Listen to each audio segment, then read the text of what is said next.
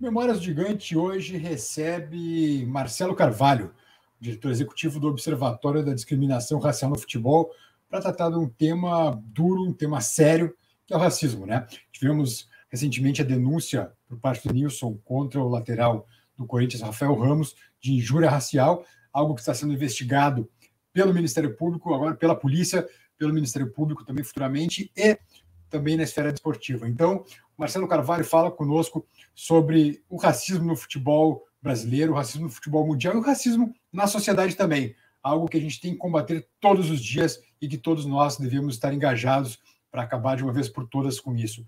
Então, Memórias Gigante de Tyson Edenilson, curtam, espero que vocês gostem. É um tema duro, mas a gente foi procurar alguém que sabe falar muito bem a respeito disso, que é o Marcelo Carvalho, que lida com isso a vida inteira. Então, por favor, ao final, deixem o like. Com vocês, Marcelo Carvalho e a luta diária contra o racismo em nossa sociedade e em nosso futebol.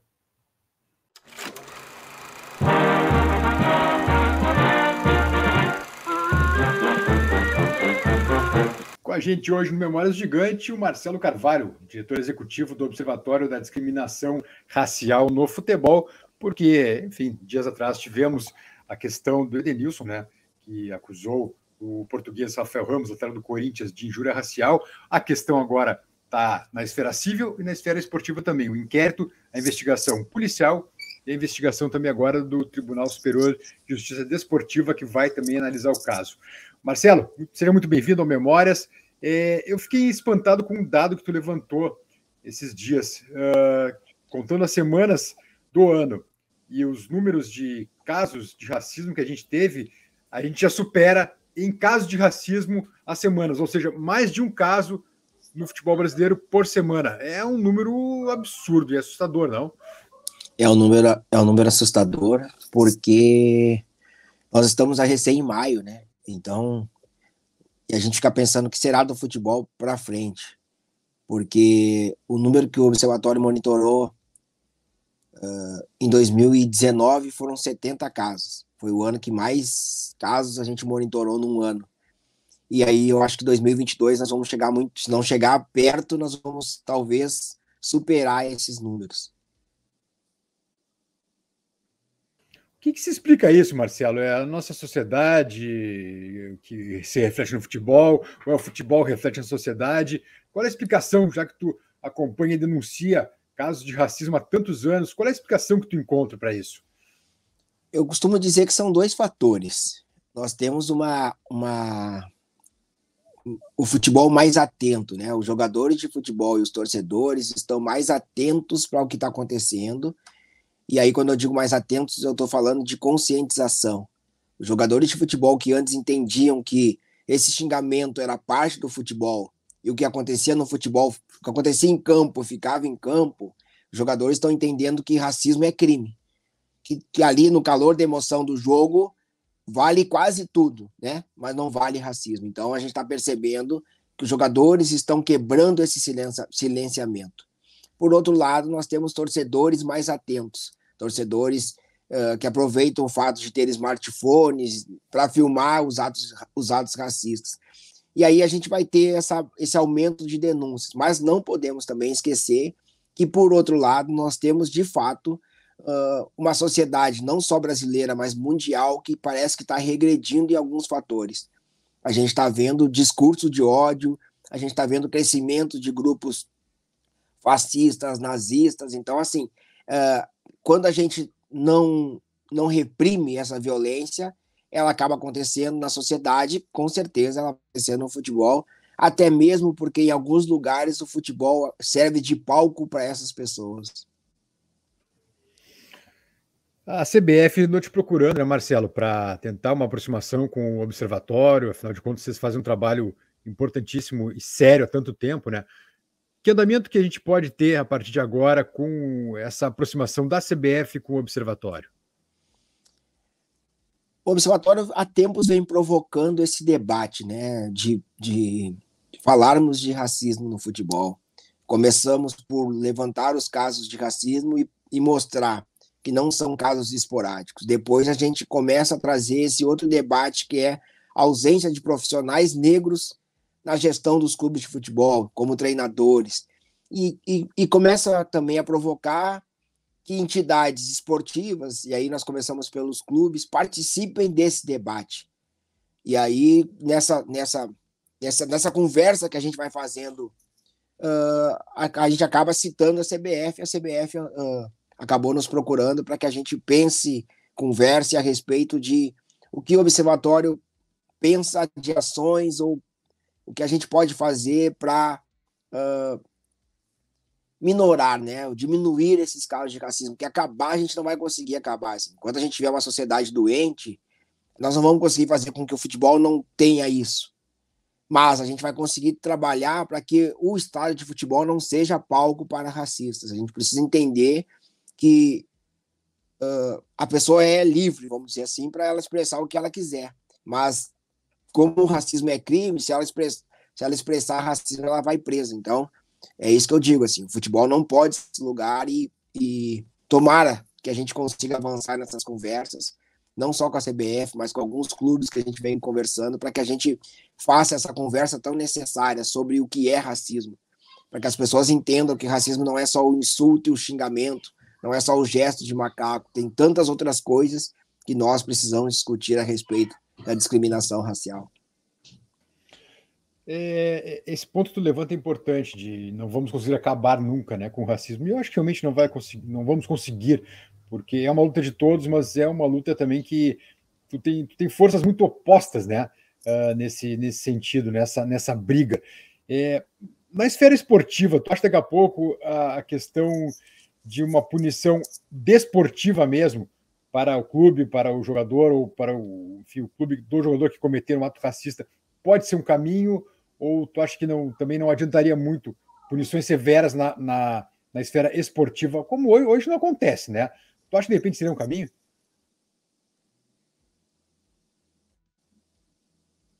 Eu acredito que é um caminho, assim, não, é, não é o único caminho nem a solução dos problemas, mas passa por uma punição maior, passa para que a gente consiga inibir uh, esses racistas de ir para o estádio de futebol. Quando a gente olha para os torneios sul-americanos e a gente está vendo essa grande quantidade de denúncias de racismo, a gente tem que entender que esse, o ato que aconteceu um dia anterior e não teve punição para ninguém, esse outro torcedor também se sente liberado para fazer, para cometer esse crime.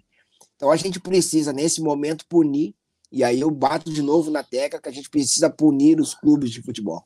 E depois começar a trabalhar na responsabilização dos clubes de futebol. Tem um paralelo que eu acho estranho de fazer, porque uma, o racismo é crime, enfim, mas se a gente parar para pensar o futebol 10 anos atrás, era atirado para dentro do campo de jogo todo tipo de objeto. Tênis, pilha, rádio. A partir do momento que, que, que o tribunal começou a punir os clubes, os clubes começaram a trabalhar em campanhas, eh, começaram a trabalhar no monitoramento desse torcedor. Então, assim, é preciso que os clubes se envolvam. Se o clube não se envolve, ele tem que ser punido. Porque, afinal de contas, tudo que acontece dentro do estádio de futebol é de responsabilidade de um clube de futebol. Então, o clube tem que ser responsabilizado, o clube tem que ser punido. E aí, quando a gente fala de punição, é multa, aí se a reincidência acontecer é perda de, perda de mando de campo, se continuar acontecendo é perda de pontos e exclusão do campeonato. Eu acho que a gente tem que fazer esse, essa escada, né? Para que a gente entenda a, o quão grave cada crime é para que aumente a punição, para que a gente trabalhe uh, de forma que o torcedor entenda. Ou vai entender porque, de fato, a gente vive repetindo que racismo é crime, ou vai entender porque uh, não vai querer que o seu clube seja punido.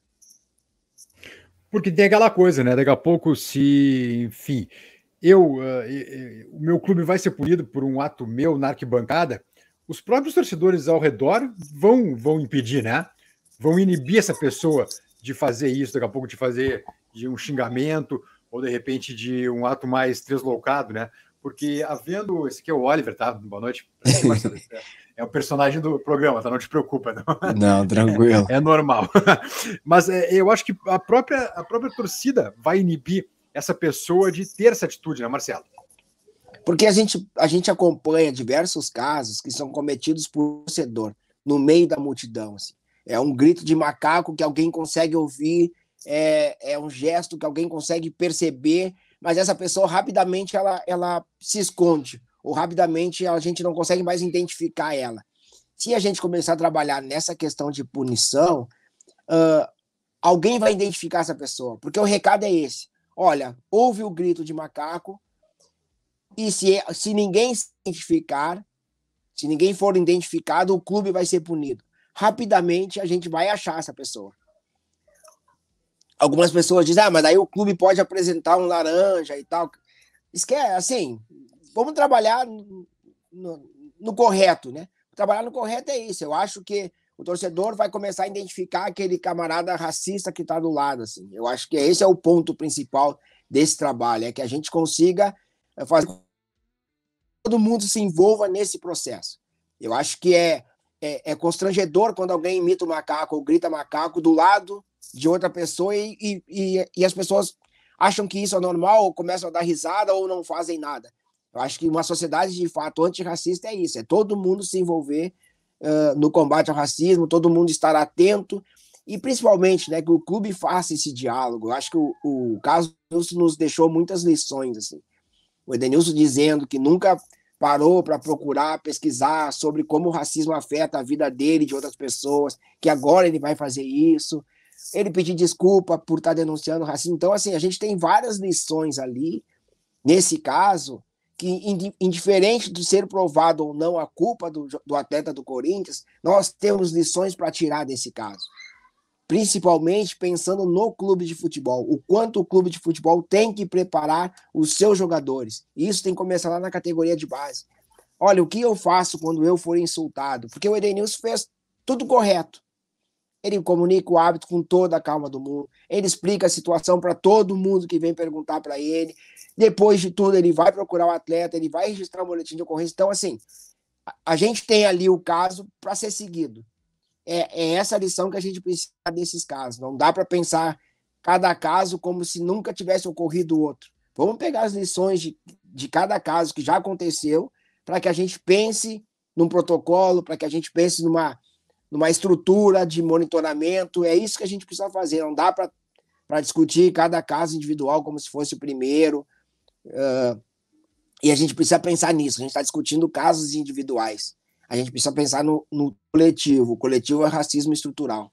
Por que nós não avançamos? Não, nós não avançamos porque não tem pessoas negras nesses espaços de comando de decisão. E aí faz parte de um outro debate que os clubes também vão ter que estar tá inseridos. E isso não é muito fácil, né, Marcelo? Porque pega mesmo é, clubes com origem popular, como o Inter, como o Vasco da Gama, por exemplo, né? É, o próprio Corinthians, o Corinthians, é, depois do caso do Edenilson, o Edenilson até acho que ficou um pouco constrangido. Uh, enfim, o Corinthians, inclusive, o, perdão, o Edenilson, inclusive, jogou no Corinthians, né? Antes de vir para o Inter. Mas ele, ele, ele me parece que foi um pouco constrangido, um pouco retraído, Marcelo. É, porque, enfim, imagina que a torcida do Corinthians é, é imensa, né? Imagina o que não caiu em cima dele nas redes sociais, né? E agora, eh, eh, terça-feira, o Corinthians vai à bomboneira e a gente viu, eh, o próprio Diário Olé publicou torcedores do Boca Juniors imitando o macaco em direção à torcida do Corinthians, né? Então, o, próprio, o próprio corintiano que, que chamou o Edenilson de mentiroso, constrangeu o Edenilson em rede social por achar que ele não estava falando a verdade na denúncia que ele fez, daqui a pouco sofreu na pele isso, né, Marcelo? Então, é, vê como, como essa coisa acaba sendo um ciclo vicioso que, se, se não. É, todo mundo tem que participar dessa luta, porque senão vai, afetar, vai seguir afetando a todo mundo, né? E, e uh, tratar racismo no futebol tem esse o ponto que a gente precisa sempre pensar. Não é como um, um racismo no dia a dia, porque o, o futebol tem a questão do clubismo, tem a questão da paixão cega. Então, assim, ah, não, o meu clube não o meu clube não, não cometeu esse ato racista. Eu vejo muita gente defendendo nas redes sociais do Observatório, defendendo o atleta do Corinthians, dizendo que não, ele não faria isso. O treinador do Corinthians disse, né? Ah, ele é uma boa pessoa, gente. O racista é uma boa pessoa até ele cometer um ato racista, né? É assim, é, é isso que a gente precisa entender. Poucas pessoas dizem ser racistas convictos. Muita gente disfarça, muita gente uh, é racista e esconde, mas em algum momento tu vai cometer um erro. E nesse momento de cometer um erro é conhecer o erro. Eu acho que essa é a lição que precisa ficar. Você não é um racista para sempre, uma pessoa cruel que vai ter uma chibata na mão para matar negros. Não. Você é uma pessoa que cometeu um erro. E aí eu acho que é a parte de, de, de assumir esse erro. E se a gente olhar, por, por exemplo, o que tu falou do Olé na Argentina, 2016, se eu não estou enganado, o Olé tem uma capa que fala dos macacos brasileiros. 2016, 2022, a gente está aqui debatendo racismo. Esse debate chegou na Argentina. Ontem o Olé trouxe essa questão para a sua rede social. Ontem o Olé reconheceu que isso é um erro. Então, assim, a gente vai evoluir a partir desse debate. Se a gente não debate, a gente vai achar que tudo, é, tudo faz parte. A partir do momento que a gente vai debater que a Comebol vai dar uma punição mais forte, o próprio Olé está repensando as suas próprias atitudes. Então, eu acho que é isso. Assim. O torcedor precisa entender. E aí, por isso que eu digo, o futebol tem um agravante, é que em nome da vitória do meu time, eu acho que eu posso qualquer coisa. Tem uma música que diz que uh, se meu time marca um gol, eu choro, mas me divirto violência na TV. Então, assim, essa paixão pelo clube nos transforma muitas vezes em monstros. Sabe aquela coisa, daqui a pouco, se eu parar a pensar esse comportamento que eu tô tendo, poxa, calma, é, é só um jogo. Amanhã a vida vai continuar se meu time perder, se meu time ganhar. É isso que a gente precisa entender. Que em nome do da paixão, da nossa paixão por cada clube, a gente não pode cometer crime, a gente não pode achar que tudo é permitido. E, e, e eu acho que esse é o ponto que a gente precisa discutir, né? O quanto a paixão cega as pessoas. E claro que, quando nós estamos falando de racismo, muita gente ainda pensa que a pessoa negra que denuncia racismo, que fala de racismo, tá, é uma pessoa que está falando mimimi, que é vitimismo. Então a gente ainda também convive com essas pessoas que não sofrem na pele, não entendem o que é conviver com, a, com, com o racismo no dia a dia, porque o racismo não afetou o Edenilson só ontem. O racismo já vem afetando a vida do Edenilson, do Marcelo e de todos os negros. Tem um dia que ele vai ficar muito mais forte. É o impacto do ato racista. Esse ato nos tira muitas vezes do chão e faz isso que o Edenilson falou. Eu não sei como agir. E é isso que a gente precisa entender. A sociedade, que não é, a parcela da sociedade que não é negra, precisa ouvir. Precisa ouvir o que as pessoas negras falam. Precisa entender o tamanho da dor.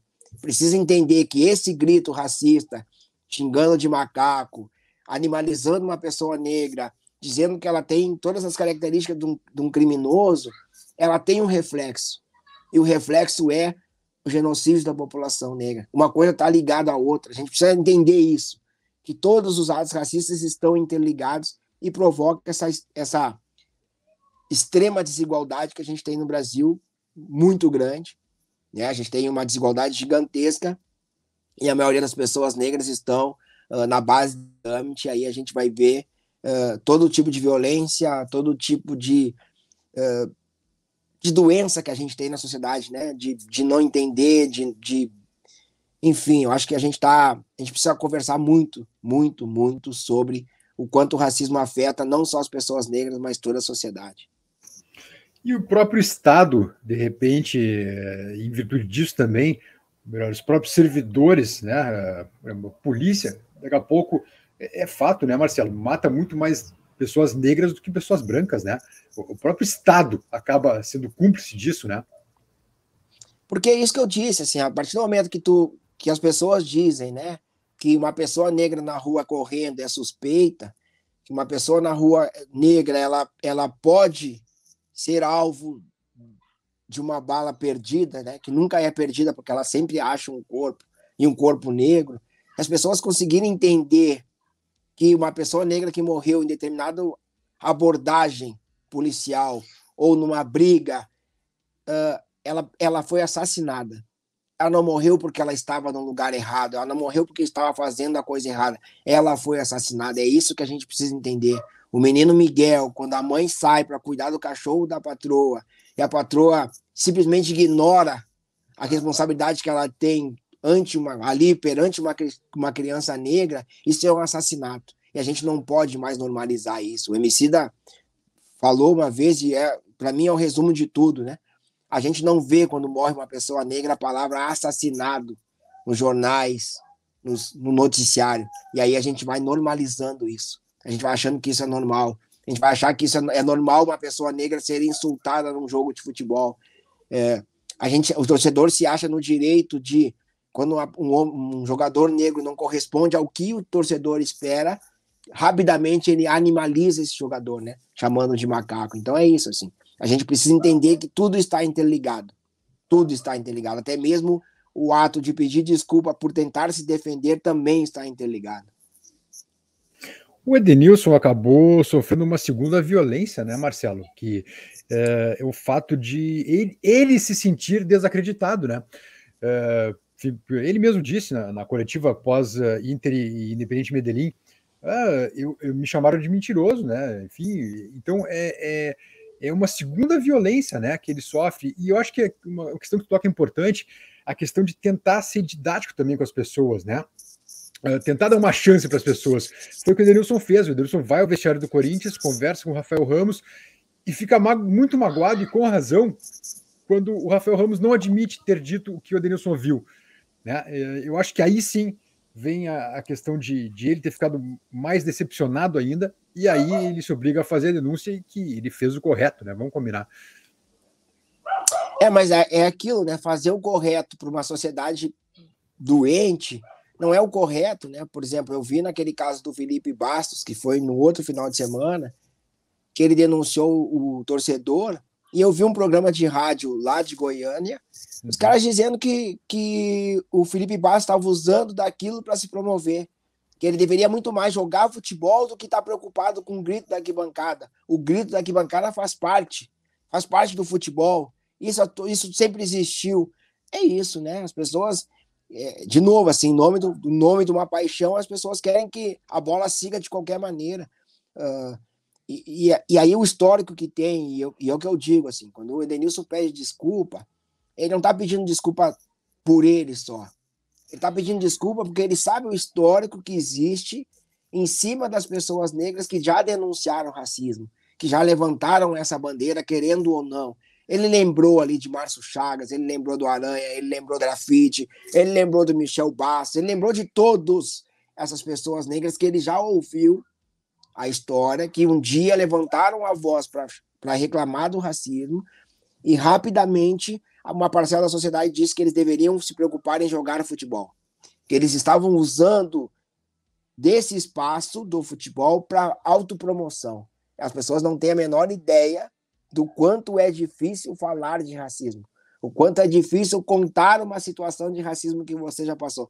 As pessoas que dizem isso, que as pessoas negras usam dessa de, de, de uma denúncia para se promover, elas não têm ideia do que é trazer para a memória um ato racista que eu já vivi. As pessoas não têm essa ideia, não sabem o tamanho que é essa dor.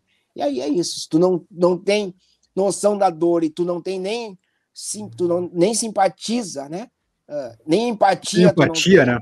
Uhum. Não tem nem empatia, tu vai fazer, vai cometer esse outro crime, que é menosprezar uh, o ato, que é minimizar. Então é isso, assim, tá faltando muita coisa para que a gente consiga de fato discutir, e é o que eu disse, assim, para que a gente consiga sair desse lugar de discutir só o grito de macaco, o gesto, para que a gente entenda que se a gente tem 56 da, 56% da população que é negra e nós não conseguimos, conseguimos atingir espaços de decisão, alguma coisa tem nesse processo.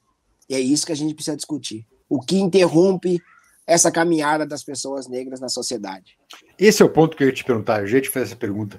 É, o país é um país mais. É, o Brasil, desculpa, é um país mais negro do que branco, né? Mais, a população mais negra do que branca, como tu mesmo lembrou dos 56%. O que, que tu entende nesses teus anos todos de estudo, de conhecimento de causa? O que, que falta ainda uh, para que as coisas sejam mais igualitárias, pelo menos, no país? Eu acho que primeiro falta reconhecer todo o processo que teve no Brasil. Quando você, você lembra de 13 de maio, você precisa entender que em 13 de maio existiu uma, uma decisão que tornou todas as pessoas negras livres mas não tornou essas pessoas negras iguais. Deixou essas pessoas negras a, a, ao relento, literalmente ao relento. Assim. Agora é vocês por vocês. Logo em seguida, você tem toda uma, uma iniciativa de trazer para o Brasil uh, imigrantes alemães, italianos, portugueses, para, primeiro, né, clarear a população brasileira, que naquele momento era 80% negra. Você traz essas pessoas para o Brasil e dá a elas a oportunidade de terem terra. Você dá a elas salário por, por, pelo trabalho que elas estão desempenhando. Você não deu isso para as pessoas negras. Então, assim, nós temos 152 anos pós-escravidão, e qual é o momento que, que, que a gente pensou em dar uh, mínimas condições para as pessoas negras? Qual é o momento que a gente parou de dizer que não, todo mundo tem a mesma chance? Nós não temos a mesma chance. É impossível eu pensar que eu tenho a mesma chance. Uh, por esse lugar que eu vou sempre sair atrás. Segundo, por esse racismo que está no olhar das pessoas. E eu não digo olhar de menosprezo, eu digo olhar ali quando eu sento para fazer uma entrevista de trabalho, a pessoa olha para mim com a pele negra, retinta e olha para uma pessoa branca, ela já tende a dar oportunidade para essa pessoa branca. Por todo esse mental que a gente vem, vem trabalhando, foi trabalhado na cabeça das pessoas, que pessoas negras são malandras, são vagabundos, uh, que gostam de beber, que gostam de festa, então tu sempre traz é, essa memória vai ser passada de pai para filho. E aí, naquele momento de decisão, você vai pensar nisso. Por isso é tão importante quando a gente conversa sobre cotas, por isso é tão importante quando foi lançado um movimento de orgulho negro, que é para resgatar isso. É para eu chegar nesse lugar e dizer: não, cadê? Eu tenho condições, me dá a oportunidade que eu vou, eu tenho condições de desempenhar o mesmo papel. Porque é isso, assim, parece que o Brasil, todo mundo chega no Brasil tendo as mesmas condições. Quando eu digo que quem veio para o Brasil teve incentivo para vir, para ter terra, para trabalhar, e, e, as pessoas negras não tiveram esse incentivo, já estou falando, já estou falando de uma desigualdade gigantesca. E essa desigualdade nunca foi corrigida. O Brasil nunca teve leis segregacionistas, mas nunca teve essas leis por medo de sofrer represália do sistema mundial. Porque se a gente para para pensar no Brasil, a segregação sempre foi muito grande. Sempre teve espaço de pessoas negras, de pessoas brancas, elevador de serviço, quarto de empregado. A gente, a gente, a gente viveu com isso como se fosse algo normal. E aí depois a gente diz, pô, mas por que vocês negros não estão nesse lugar? Vocês não querem. O que é vocês não querem? Né? Então é isso. Assim, o serviço público, por exemplo, deu oportunidade para o meu pai, que, que me proporcionou que eu estudasse, me formasse uh, numa faculdade, e ali na faculdade, quando eu vou conviver com poucas pessoas negras que lá estão, a maioria delas também é filho de funcionário público.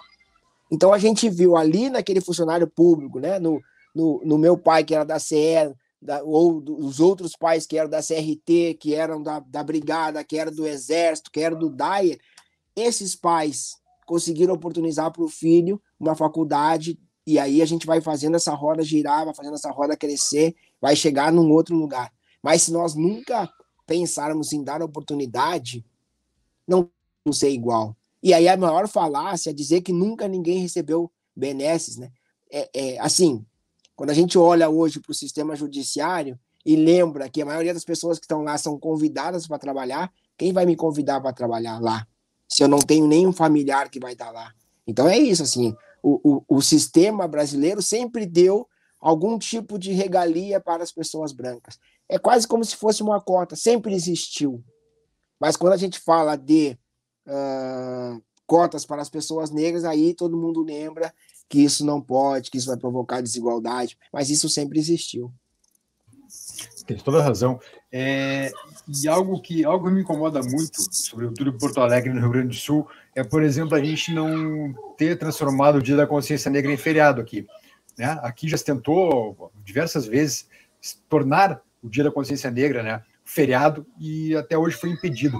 Mas eu queria te perguntar uma coisa, até, eu vendo gurizada no fundo aí, se não me engano, tu tem um menino da escolar, né? O que, 8, 10 anos, teu, teu filhinho, né? Teu guri.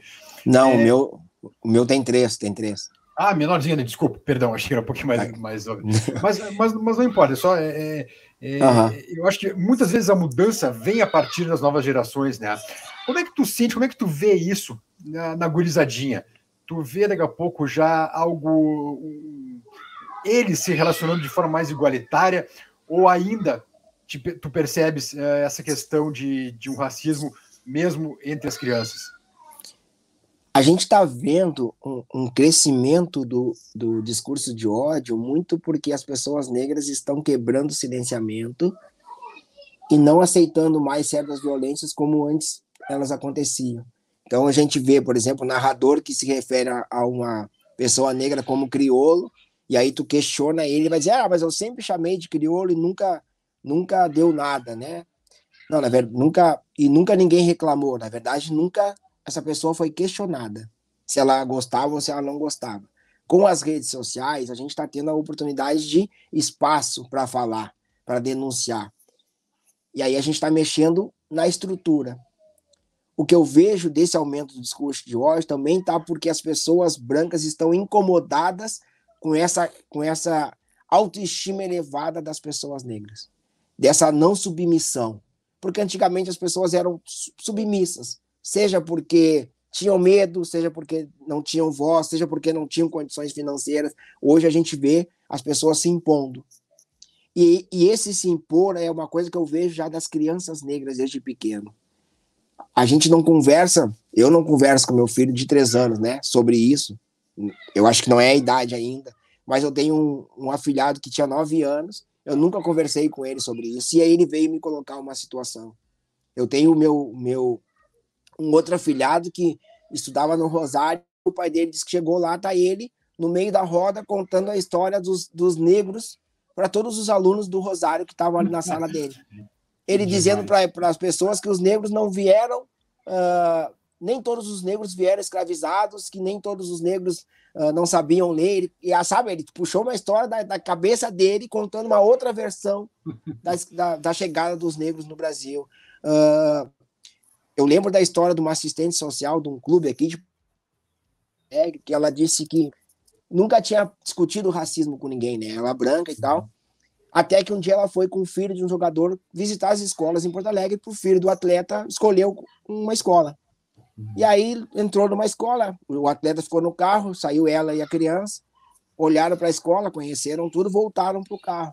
E aí ela pergunta: E aí, Fulano, gostou da escola? E, ele, e aí o pai dele, aí, gostou? E aí ele disse assim: Gostei, mas eu acho que eu não quero estudar aí. Aí o pai dele disse: Por que não? Porque não tem pessoas negras e eu sei que eu vou sofrer racismo porque não tem pessoas negras. E aí o pai dele e a assistente social ficaram se olhando e pensando, da onde ele tirou isso? É isso. Porque quando a gente fala de orgulho, orgulho negro, 100% negro, é, é essa coisa, né? De eu me aceitar. Uhum. De eu não ter vergonha do meu cabelo, do meu nariz, da minha boca. E a partir do momento que eu começo a expressar essa autoestima, isso vai incomodar naquelas pessoas que sempre fizeram piada, uhum. naquelas pessoas que sempre me diminuíram, e aí vem uhum. contar uma piada a meu respeito, eu vou dizer, olha, não entendi, não gostei. E aí essas pessoas se incomodam. E aí a gente está vendo hoje essa tensão muito grande. Mas ela não é provocada por nós negros. Nós não queremos uh, conquistar o mundo. Muita gente, ah, vocês são raivosos. Gente, a gente não é raivoso. 56% da população brasileira, se fosse raivosa, o Brasil estava em chamas. A gente está discutindo, e a gente está discutindo direitos, a gente está discutindo oportunidades. Então é isso, assim, é, eu acho que essa tensão que existe hoje muito grande se dá porque as, as pessoas brancas que antes percebiam a, a condição de, de como é que é? fugiu a palavra agora, mas falando de, de oportunidade, é, fugiu a palavra. Mas enfim, daqui a pouco eu lembro. Essa questão que elas tinham sempre superior, superioridade, né? Elas uhum. hoje percebem que a disputa é, tudo, é maior. E não basta uhum. ser branco. E aí isso está trazendo essa tensão para a sociedade de modo geral. Assim. O, só voltando ao nosso tema de racismo no futebol, é, o que que o, que que o gesto do o que que o gesto do Tyson ano passado no Maracanã, aqueles 4 a 0 no Flamengo, cerrando o punho como um pantera negra, representou para o movimento e para a luta? Representa muito porque um jogador de futebol na, no Brasil ele tem uma representatividade muito grande. Queira ele queira, queira, queira ele não queira. Ele não é simplesmente um jogador de futebol. Ele é uma pessoa que muita gente se espelha nele. Muita gente admira ele. Muita gente vai seguir os passos desse jogador. E quando um jogador negro levanta o punho, dizendo que tem orgulho da sua raça, do seu cabelo, ele está passando essa mensagem para todos os meninos. Uhum. O meu filho, os outros filhos de pessoas negras vão olhar para aquela cena e dizer: Poxa vida, eu também tenho que ter orgulho do meu cabelo, também tenho que ter orgulho. Sentir representado, né, Marcelo? Isso, então é isso. Assim, quando o Tyson, sabe, faz aquele gesto, quando o Reinaldo fez o gesto lá atrás, é, é, é essa representatividade, essa amostra de força que vai motivar outras tantas pessoas. E aí é, é, existem outros tantos, ou existem outras tantas pessoas negras lutando pelo, contra o, o racismo no Brasil. E elas são desconhecidas, mas elas fazem trabalhos maravilhosos. Ah, e quando o Tyson levanta o punho, ah, mas o Tyson, é simplesmente porque é isso, né? O, o, o futebol no Brasil, ele é ele consegue na TV aberta, por exemplo. A TV aberta tem um jornal que fala sobre política, economia, fala sobre tudo, mas não fala futebol. Futebol tem os seus 15 minutos, os seus 20 minutos separados. Isso mostra a força do futebol. Então, um jogador de futebol que usa esse espaço para lutar contra o racismo, ele está levando junto com ele um, milhões de outras pessoas que não conseguem ter uh, a sua voz escutada. E o Tyson disse muito bem isso. Né? O Tyson disse: Eu estou falando não só por mim, eu estou falando por outros tantos que, que ninguém escuta a voz deles. O Edenilson faz o primeiro gol dele contra o Independente Medellín e também encerra o punho, né? E eu achei bonita a cena, que é o Edenilson sem camisa, né? Pele negra. E ao lado dele o Maurício e o Bustos, né? Um brasileiro e um argentino também, os três de punho cerrado. Eu achei aquela cena tão forte, Marcelo, tão bonita, que uh, eu não sei para que, que, que, tu, como um cara que combate o racismo, trata disso todo dia, pensou naquela cena, mas me pareceu tão bonito, tão forte, tão poderosa aquela cena dos três, com o punho erguido, o punho cerrado, que realmente eu fiquei impressionado. Essa cena é a cena que a gente sempre repete que a gente gostaria que acontecesse, que é, que é após um ato de racismo, todos os atletas abandonarem o campo de jogo. E aí, quando eu falo todos os atletas, não é todos os atletas negros, é todos os atletas. Porque eu fico pensando assim: o jogador de futebol passa mais tempo com um colega de clube do que com a família. É muito mais tempo entre viagem, hotel, treino, jogo com esses com esses camaradas, né, com esses amigos, do que com a família. Como é que quando tem um ato de extrema dor, esses jogadores não conseguem se mobilizar para protestar junto? Então, ali ontem, quando os dois outros jogadores que não são negros se manifestam, eles estão falando da dor que eles perceberam no Edenilson ao longo dos últimos dias. Porque o que o Edenilson falou no dia do jogo e o que o Edenilson sentiu do, da, do sábado até ontem reverberou em todos os atletas.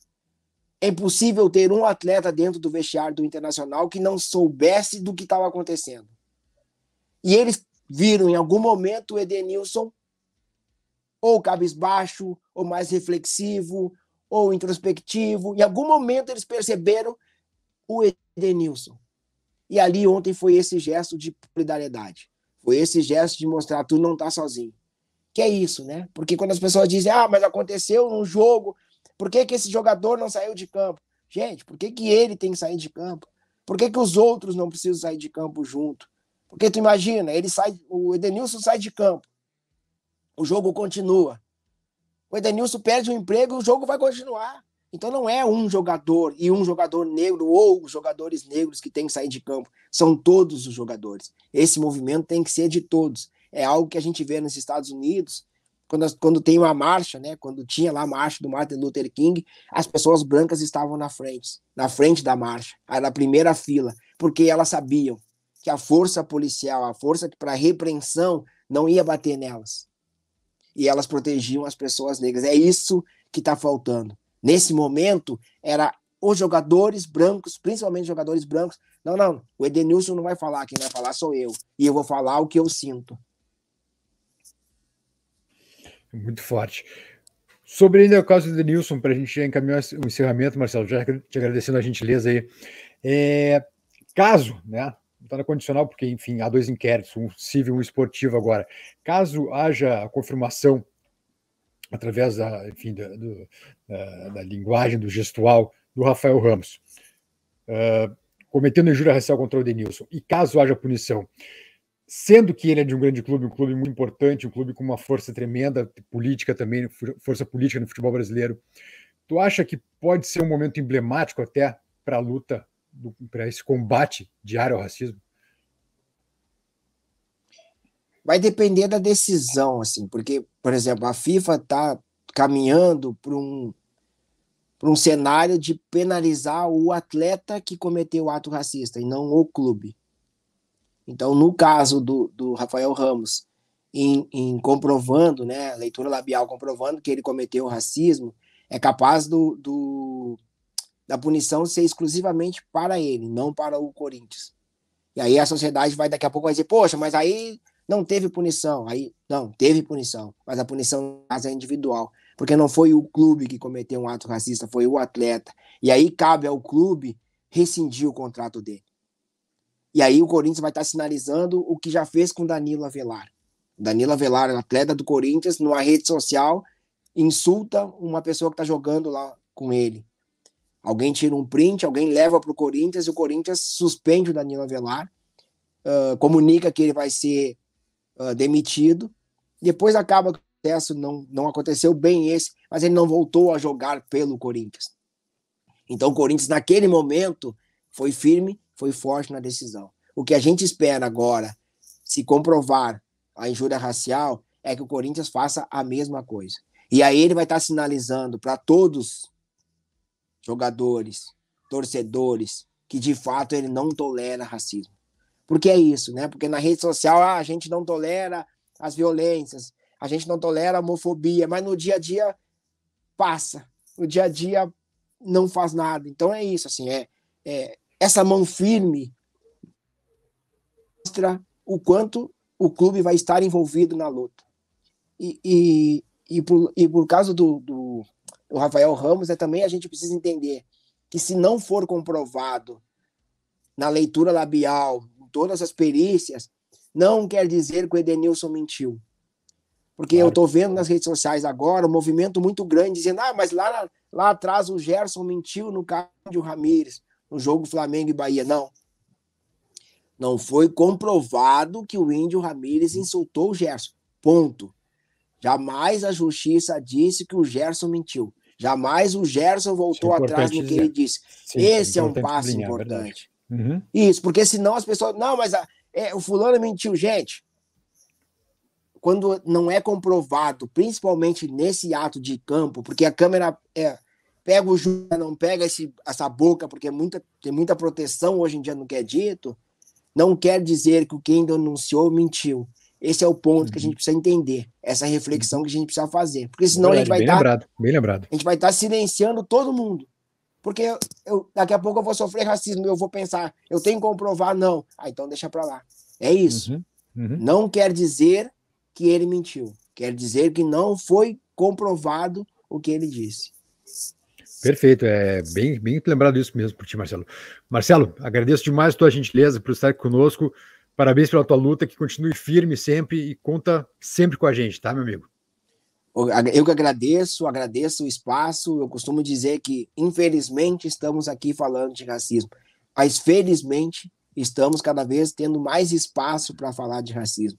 Eu tenho 49 anos e eu me lembro muito bem, a minha memória lembra muito bem de diversos programas esportivos onde as pessoas debochavam uh, do racismo, pessoas debochavam do termo macaco, as pessoas riam quando alguém dizia, olha, eu fui insultado, chamado de macaco, as pessoas riam porque aquilo era normal, porque aquilo era uma brincadeira, aquilo era no folclore do Rio Grande do Sul, e hoje a gente está discutindo cada vez mais. Hoje a gente está entendendo que isso é racismo e que a gente não pode tolerar. Então, assim, é, é por isso que eu digo, importante demais esses espaços que a gente está conseguindo uhum levar esse debate. Então, eu te agradeço.